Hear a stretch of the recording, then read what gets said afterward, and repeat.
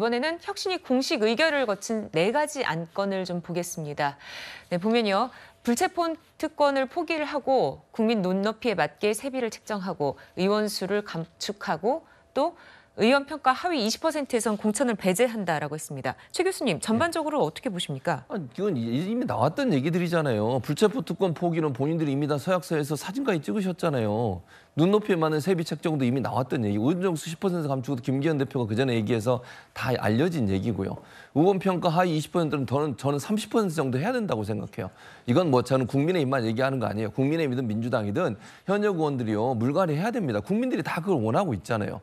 근데 이거 네 가지 의견해 가지고 감동을 줄 수 있겠냐고요. 아까 나왔던 얘기가 의견 안에 들어가야 된다니까요. 네. 뭐 예를 들면 영남이나 TK나 이런 이런 지역에 있는 삼선 이상 같은 지역구에서 했던 분들 다른 지역 나가라.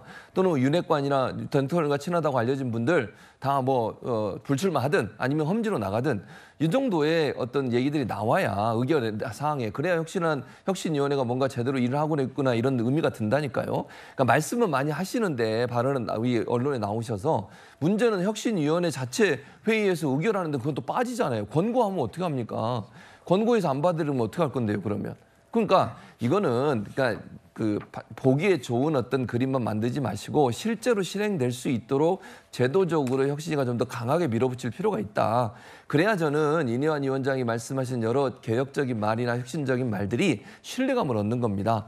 의견을 의견을 안에 포함시키지 않고 권고만 하고 넘어가서 만약 안 받으려도 그걸 어떻게 할 수 없는 상황이 된다고 하면 그거는 혁신에 대한 의지가 없다고 비춰질 수 있어요. 그래서 어, 이념한 혁신이가 좀 더 강하게 드라이브를 걸어서 어, 이 당 최고위가 이런 부분들을 안 받으려면 안 되는 상황까지 가는 것이 필요하겠다. 저는 그렇게 생각합니다. 근데 달라요. 이게 디테일이 좀 다릅니다. 왜냐하면 의원 평가 하위 20% 공천 배제 안은 네. 김은경 민주당 혁신위에서는 이걸 감점만 하자는 거였는데 공천 배제잖아요. 이게 굉장히 강도가 다른 겁니다. 그리고 의원 정수 10% 감축은 민주당이 바로 반응을 내놓은 게 우리는 반대라고 얘기했어요. 이게 30명 줄이자는 건데 간단치 않은 숫자입니다. 의원 30명 이거 줄이는 거 여기에 반대 입장이 나왔고 불체포 특권 포기 국민 눈높이 맞는 세비 책정인데 불체포 특권 포기는 이재명 민주당 대표 때문에 사실상 사문화된 거라 다름없는 거를 제대로 하자는 거고요. 서약서라도 받겠다는 거예요. 여- 야당이 만약 이걸 그 표결 안 해주면 그래서 서약서를 내라. 자, 그 두 번째 세비 책정을 줄이자는 거는 문호동 무임금 원칙, 그 다음에 불출석에 따른 감액 이런 걸 하자는 거잖아요. 그러니까 같지만 다르다. 그리고 자꾸 이제 민주당 측에서는 뭐 권고를 왜 하느냐. 남의 당 일이에요. 권고를 해도 그 권고가 더 강력한 권고가 있는 거고 네. 의결을 백날 하면 뭐 합니까? 김은경 혁신위가 냈던 안 다 일축해 버렸잖아요. 그게 같지만 다른 겁니다. 저는 그렇게 봅니다. 네, 이런 가운데 윤 대통령 김기현 대표 일기 지도부의 임명 당직자들과 비공개 만찬을 가졌습니다. 아, 이 자리에는 강서구청장 보궐선거 패배 책임을 지고 당 사무총장에서 물러난 지 19일 만에 다시 돌아온 이철규 의원도 함께 했는데요. 아, 이현종 의원님, 네.